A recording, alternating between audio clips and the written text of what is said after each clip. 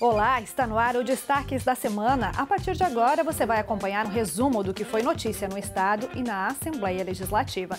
Confira os principais assuntos desta edição. Deputados estaduais destinam 5 milhões de reais para a defesa civil catarinense. Aprovado o projeto que dispensa licença ambiental para obras em estradas vicinais. Plenário aprova propostas para melhorar a qualidade de vida dos idosos. E ainda, destinação de medicamentos vencidos. Deputados rejeitam o veto parcial do governo do estado. Estas e outras informações você acompanha agora no Destaques da Semana, que já está no ar. Fique com a gente.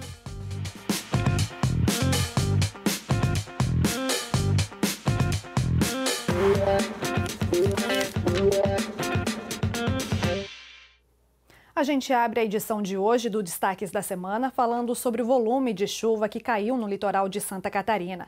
O tema foi abordado pelos parlamentares na sessão de quinta-feira e tem uma boa notícia. A Assembleia destinou 5 milhões de reais para ajudar os catarinenses afetados pelas inundações. A Assembleia Legislativa anunciou que vai doar 5 milhões de reais ao governo do estado para enfrentamento dos prejuízos materiais e humanos provocados pela chuva intensa dos últimos dias. A doação é possível porque a administração da casa e o conjunto dos 40 deputados estaduais economizaram parte da verba anual destinada ao parlamento catarinense. A decisão foi tomada em uma reunião da mesa diretora, que acatou a iniciativa iniciativa proposta pelos deputados estaduais. Para que a doação seja efetivada, o Poder Executivo deverá apresentar ao Parlamento catarinense, por meio da Defesa Civil, os planos de trabalho para o auxílio às famílias atingidas e para a recuperação dos danos materiais. Os detalhes da doação estão neste ofício enviado ao governador Carlos Moisés da Silva e assinado pelo presidente da Assembleia Legislativa, deputado Moacir Sopelsa. No comunicado, os parlamentares destacam que a decisão de doar os recursos se deve ao grande número de ocorrências registradas durante a chuva forte e persistente que atingiu principalmente a região norte, o Vale do Itajaí, a Serra Catarinense e a Grande Florianópolis. Até às 10 horas da manhã desta quinta-feira, o Grupo de Ações Coordenadas da Defesa Civil do Estado já contabilizava 17 municípios em situação de emergência e outros quatro providenciavam documentos para fazer o decreto.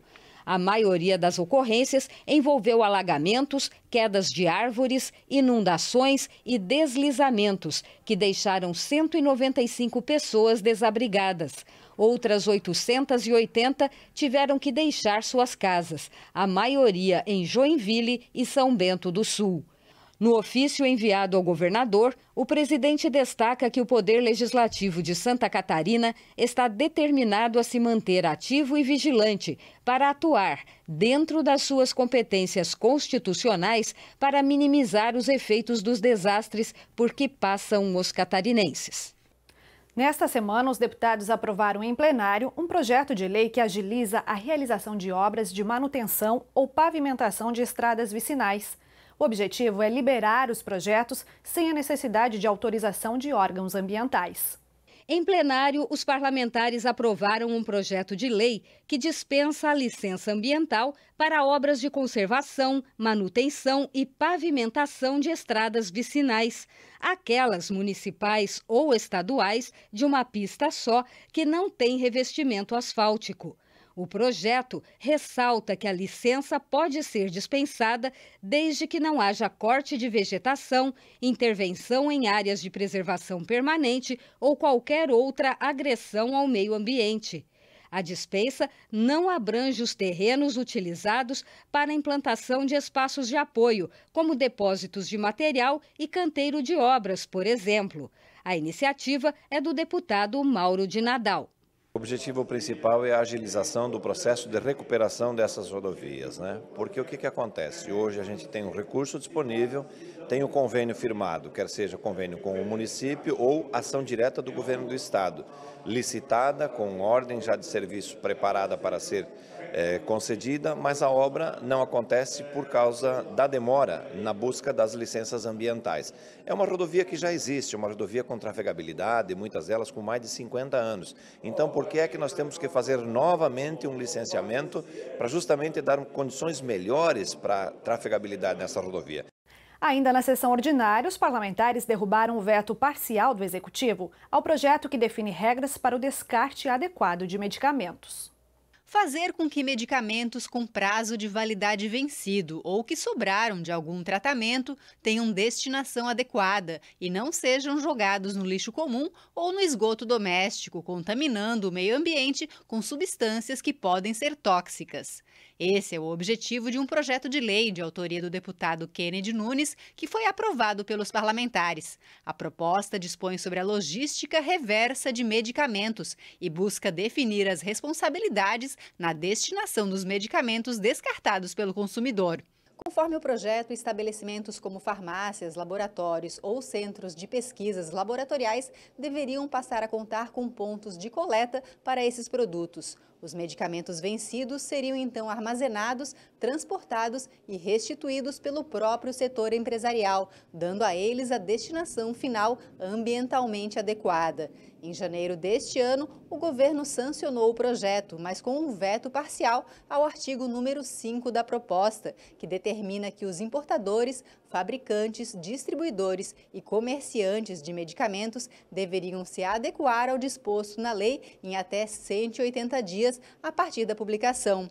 A imposição foi considerada inconstitucional pela Procuradoria-Geral do Estado, mas os deputados rejeitaram esse veto, validando a proposta original do deputado Kennedy Nunes.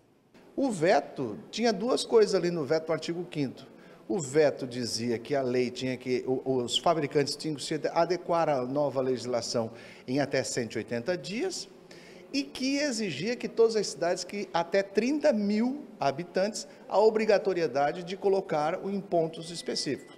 Não adianta fazer uma lei se não tiver nenhum tipo de é, prazo e punição.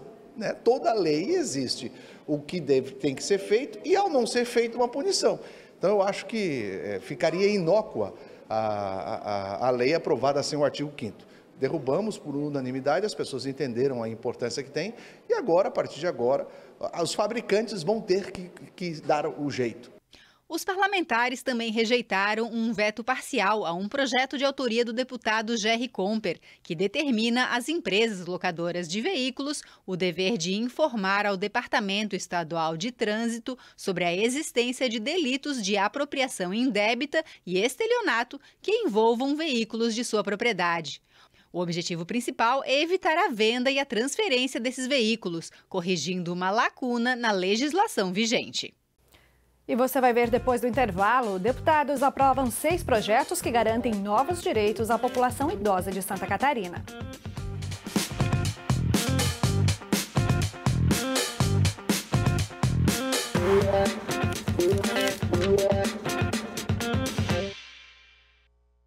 De volta com destaques da semana, deputados aprovaram em plenário quatro projetos de lei que beneficiam a população idosa de Santa Catarina. Dois deles têm a preocupação de chamar a atenção da sociedade para o abandono afetivo e financeiro das pessoas com mais de 60 anos. Os parlamentares aprovaram em plenário dois projetos de lei que têm como objetivo combater o abandono afetivo de idosos. Um dos projetos é de autoria do deputado Kennedy Nunes. A matéria proíbe o abandono pela omissão de cuidados ou não realização de visitas por filhos, netos e bisnetos, determinando o pagamento de multa conforme estipula o Estatuto do Idoso. De acordo com o projeto, as denúncias devem ser feitas ao Conselho Estadual do Idoso. São consideradas idosas todas as pessoas com 60 anos ou mais. Dessa lei que nós aprovamos agora, os funcionários dessas casas ou de qualquer unidade de saúde, ao perceber que o idoso pode ter sido espancado ou ter sofrido alguma agressão, ele agora tem a obrigatoriedade, por lei, de anunciar e de, de denunciar este, essa agressão. Para quê? Para que o idoso também é, é, se sinta protegido e a pessoa que atendeu na obrigação de denunciar isso daí. Outra coisa que a lei garante é que as casas que cuidam dessas, desses idosos poderão ter, entrar na justiça sem custas do processo para denunciar algum abandono. O outro projeto aprovado é o do deputado Valdir Cobalcini, que institui a campanha Idosos Órfãos de Filhos Vivos, a ser realizada todos os anos durante todo o mês de outubro. O objetivo é realizar debates e produzir material educativo para a orientação e conscientização sobre os cuidados aos idosos e as consequências do abandono afetivo e financeiro. Infelizmente, os idosos, é, hoje, para algumas famílias, eles são considerados um estorvo é, e o que a gente busca, através desse projeto de lei recém-aprovado em plenário, que se faça uma campanha de conscientização, campanhas nas escolas, enfim, é, principalmente nas escolas, também nas, na, nas igrejas, né, da importância é, da unidade familiar. O plenário também aprovou o projeto que cria o programa Cidade Amiga do Idoso. Para aderir, o município deve ter uma política municipal para os idosos e apresentar um plano de ação que contemple melhores condições a esse público em diversas áreas, entre elas o transporte, a moradia, a participação social e os serviços de saúde. Quem atingir as metas recebe o título Cidade Amiga do Idoso, que passa a ser obrigatório para a celebração de convênios ou parcerias entre o Estado e os municípios nas áreas de saúde, infraestrutura e assistência social. A iniciativa é do deputado Maurício Escudilarque. Nós procuramos é, valorizar as cidades que têm essa preocupação com a população idosa, com a segurança da população idosa, acessibilidade, é, condições de vida, de lazer, é, em todos esses sentidos. Então, o objetivo do projeto é reconhecer cidades que dão esse tratamento é, diferenciado, que hoje é o normal, dar uma melhor qualidade de vida ao idoso, que elas sejam reconhecidas, valorizadas é, pela Assembleia e pelo governo. Na mesma sessão, os deputados aprovaram um projeto de lei que determina a reserva para idosos de, no mínimo, 5% das mesas e cadeiras das praças de alimentação de shopping centers. As mesas reservadas devem estar identificadas.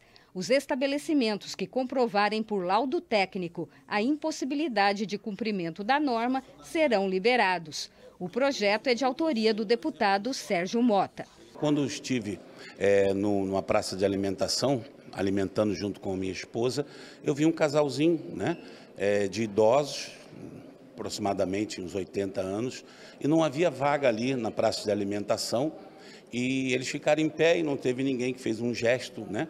Então, dali surgiu essa necessidade de fazer esse projeto de lei, né, que esteve agora no plenário, porque nós já temos é, o estacionamento, né, é, para o idoso. Então, o idoso chega, por exemplo, num shopping, né?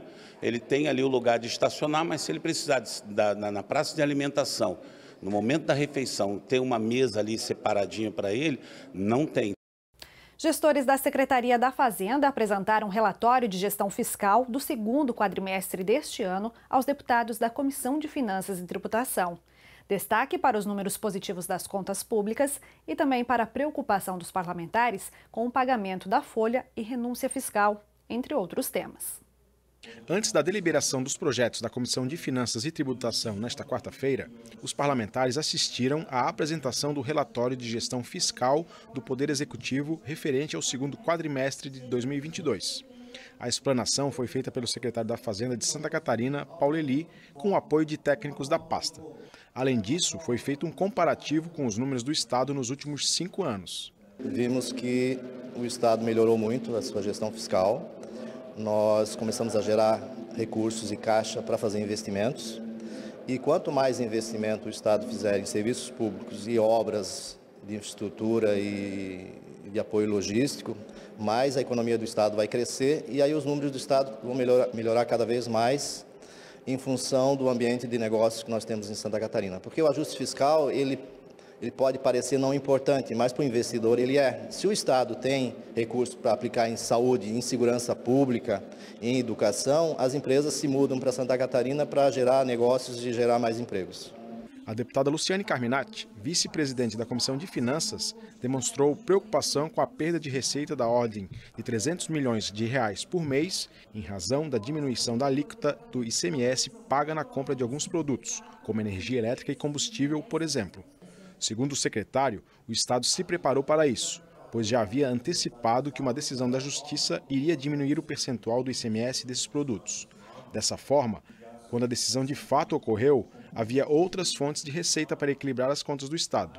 A parlamentar também questionou o atual gestor da Fazenda sobre as despesas fixas e a folha de pagamento dos servidores públicos. Nós temos demandas a cumprir no ano que vem, inclusive com relação aos servidores que já acumulam defasagem por conta da pandemia e dois anos onde nem sequer a inflação foi assegurada. E o Estado precisa combinar os investimentos no serviço público, no servidor, essa é a minha avaliação, obviamente, né? mas também os investimentos em obras, em, eh, em programas e projetos estruturantes. Tanto o secretário da Fazenda, Paulo Eli, quanto a deputada Luciane Carminati concordaram que uma das próximas questões a serem enfrentadas pelo próximo governo, que assume em 2023, e acompanhadas pelos novos parlamentares que tomam posse no próximo ano, é a questão dos incentivos fiscais que são utilizados pelo Estado para atrair investimento privado em empresas. Em reunião da Comissão de Finanças e Tributação, os parlamentares aprovaram um projeto que destina 5% do ICMS arrecadado com o comércio de cigarros e similares ao Fundo Estadual de Combate ao Câncer. Esta foi uma das matérias deliberadas pelo colegiado. Os parlamentares da Comissão de Finanças e Tributação aprovaram seis projetos de leis para diferentes áreas, como educação, mobilidade urbana e saúde pública. Projeto de lei complementar de autoria do deputado Neudi Sareta, que cria o Fundo Estadual de Combate ao Câncer, no estado de Santa Catarina, foi um deles.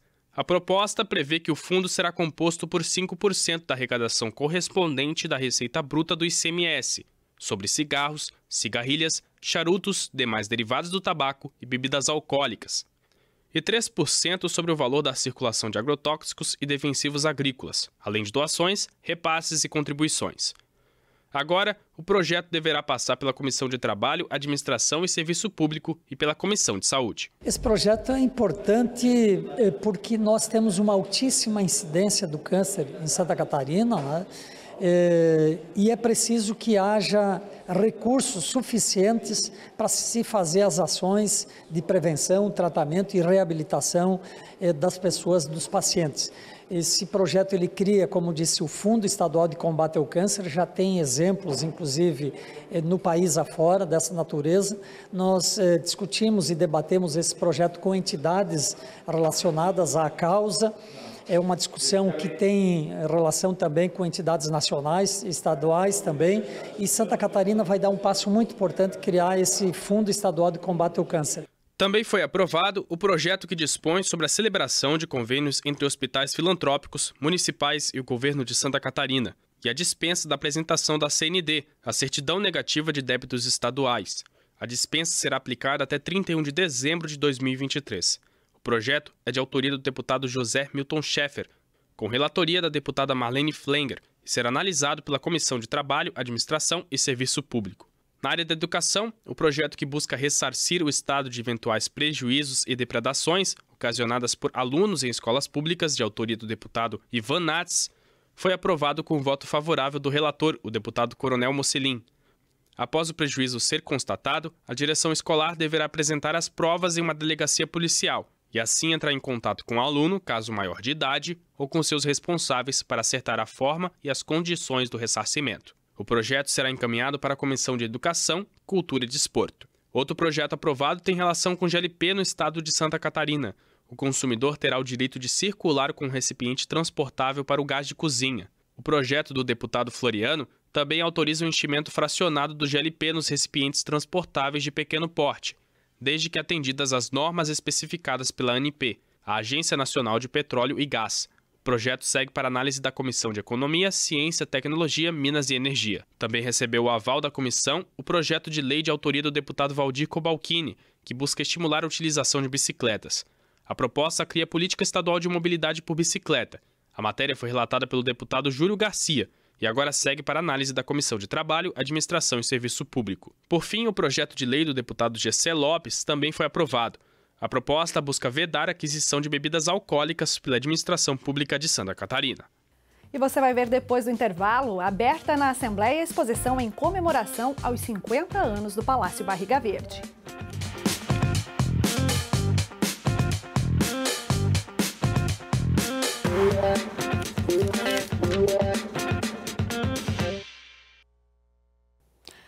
Deputados aprovaram a criação de uma nova rota turística religiosa no sul de Santa Catarina. Entre os objetivos do projeto estão o fomento ao turismo e o incremento da economia na região de Araranguá. O projeto segue agora para a sanção do governador. Na sessão desta terça-feira, os deputados aprovaram em plenário a criação da Rota Turística Religiosa Caminhos do Santuário Nossa Senhora Mãe dos Homens. A nova rota deverá abranger atrações de oito municípios da região de Araranguá, com destaque para a principal festa do Santuário de Nossa Senhora Mãe dos Homens, realizada todos os anos em maio. O evento recebe, em média, um público de 60 mil fiéis. O projeto, que segue agora para a sanção do governador, é de autoria do deputado Volney Weber. Ele destaca que, além de preservar a tradição religiosa, o projeto também tem objetivos econômicos. O turismo religioso ele vem crescendo de forma bastante relevante, né?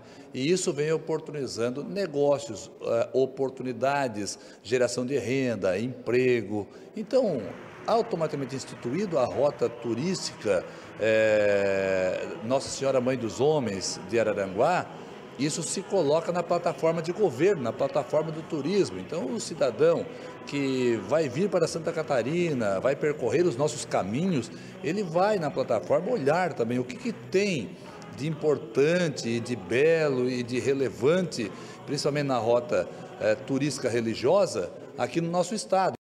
A Comissão de Constituição e Justiça derrubou o veto do Executivo ao projeto que cria a pensão para pessoas com autismo. Essa foi uma das propostas debatidas pelo colegiado em reunião realizada nesta semana. Os deputados da Comissão de Constituição e Justiça, reunidos na manhã desta terça-feira, aprovaram a alteração em lei que permite o uso digital da carteira de identificação do autista no Estado. A matéria é de autoria da deputada Paulinha. Ainda falando sobre o autismo, o colegiado derrubou o veto do governo do estado sobre o projeto de lei que concede pensão especial para pessoas que tenham o transtorno do espectro do autismo nível 3. O PL, de autoria do deputado doutor Vicente Caro Preso, foi relatado pelo deputado Mauro de Nadal. A nossa lei da assistência social já contempla é, algumas é, deficiências com esse suporte financeiro é, que o governo do estado dá para que as famílias consigam é, melhorar a sua qualidade de vida. Então, esse projeto do deputado Dr. Vicente Caro Preso é um projeto muito importante, é, que tem uma abrangência significativa na vida de todas essas famílias é, e não é justo a gente conseguir atender é quem realmente precisa e deixar de lado também os autistas que necessitam desse suporte financeiro é, por parte do governo catarinense. A Comissão de Constituição e Justiça também aprovou uma proposta de emenda à Constituição Estadual, apresentada pelo deputado Márcio Machado, que permite que recursos originados de emendas parlamentares possam ser destinados a hospitais filantrópicos de Santa Catarina que estejam inadimplentes.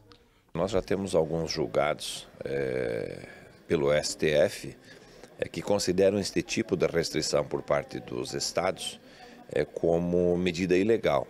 Então, o meu voto foi justamente nesta linha para fazer com que o projeto tenha tramitação aqui na casa, que nós possamos analisá-lo na comissão de mérito, é, preenche todos os requisitos legais e é um projeto importante, porque é, quando o deputado faz o envio de uma emenda impositiva para um hospital filantrópico em Santa Catarina, é justamente para dar a ele suporte e condições para continuar atendendo o catarinense, atendendo o nosso cidadão. Em 2020, o Palácio Barriga Verde, o símbolo da democracia no território catarinense, completou 50 anos. As comemorações foram suspensas em decorrência da pandemia da Covid-19. Dois anos depois, a Assembleia Legislativa recebe a exposição Cinquentenário do Palácio Barriga Verde, aberta ao público até o dia 25 de janeiro do ano que vem. Centro político e de debates que interessam a toda a população de Santa Catarina, o Palácio Barriga Verde completou 50 anos de história em 2020. Infelizmente, as comemorações foram suspensas naquele ano em função da pandemia da Covid-19. Dois anos depois, a Assembleia Legislativa recebe a exposição Cinquentenário do Palácio Barriga Verde. A exposição apresenta ao público os principais registros históricos relacionados ao prédio, como fotografias, plantas e outros documentos que contextualizam a história do edifício sede e a evolução do poder legislativo ao longo desses mais de 50 anos. O novo prédio foi inaugurado em 14 de dezembro de 1970, após o Palácio do Congresso do Estado, localizado na Praça Pereira Oliveira, no centro de Florianópolis, ser atingido por um incêndio em 1956. Eu disse esses dias que o parlamento, o legislativo e o judiciário, quando, quando diminuídos, eu não vou dizer desmoralizados, nós estamos prejudicando a democracia. Então, nós temos que ter orgulho da Assembleia Legislativa do Estado de Santa Catarina, dos parlamentares que aqui estão e também todos aqueles que passaram por aqui. A exposição está aberta ao público na Galeria de Arte Ernesto Meyer Filho e pode ser vista até o dia 25 de janeiro do ano que vem. Ainda em comemoração aos 50 anos do Palácio Barriga Verde, a TVA produziu um especial com alguns dos personagens que vivenciaram momentos históricos na sede do Parlamento Catarinense. A reportagem pode ser vista aqui na programação da TVA e também no canal da Assembleia no YouTube, arroba Assembleia SC. O Destaques da Semana fica por aqui. Mais informações do Parlamento você confere no nosso site, nas nossas redes sociais e aqui na programação da TVA. Até semana que vem.